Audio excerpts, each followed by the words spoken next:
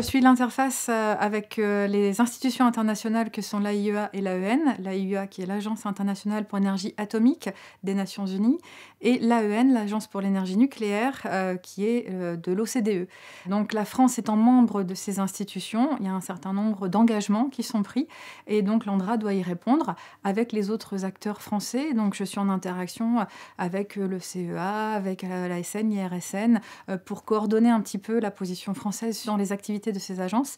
Et au quotidien, c'est donc de suivre bah, toutes les activités proposées, que ce soit des conférences, des groupes de travail, des demandes de visite en France ou des demandes de missions d'expertise euh, qu'on peut faire auprès de la France pour les pays membres euh, de l'AIEA ou de l'AEN.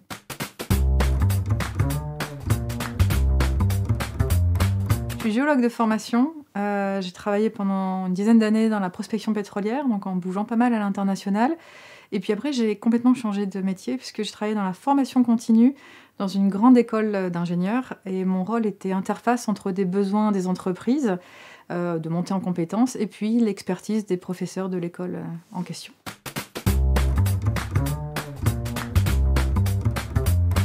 Ça me permet de raccrocher les wagons de ma vie professionnelle, euh, les différents wagons, euh, puisque euh, j'aime l'international, j'aime bien ce rôle d'interface que j'ai pu avoir, et puis avec une bonne dose de, géosciences, finalement, de sujets avec des géosciences, qui est mon bagage initial. Je suis contente de travailler à l'Andra parce que je trouve qu'elle a une mission importante de gestion sur le long terme des déchets radioactifs, et donc à mon niveau, je suis fière de contribuer à la réalisation de ces activités.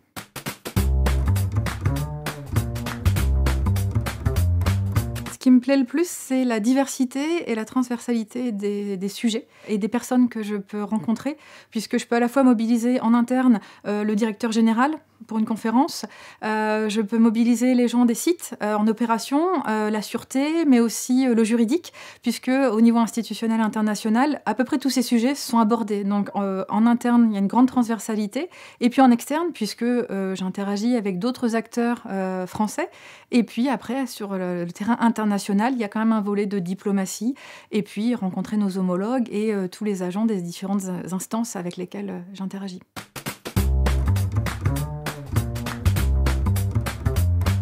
J'en vois trois. Euh, une bonne organisation, un bon relationnel et puis une grande curiosité. Et évidemment parler anglais.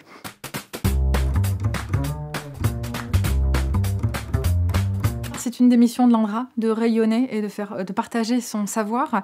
Euh, par ailleurs, un certain nombre de standards internationaux sont établis et donc l'ANDRA contribue à, établir ces standards internationaux.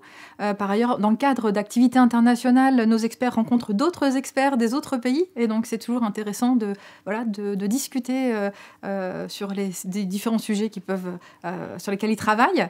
Et enfin, la reconnaissance internationale de l'expertise française.